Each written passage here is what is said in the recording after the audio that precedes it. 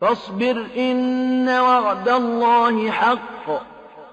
فإما نرينك بعض الذي نعدهم أو نتوفينك فإلينا يرجعون.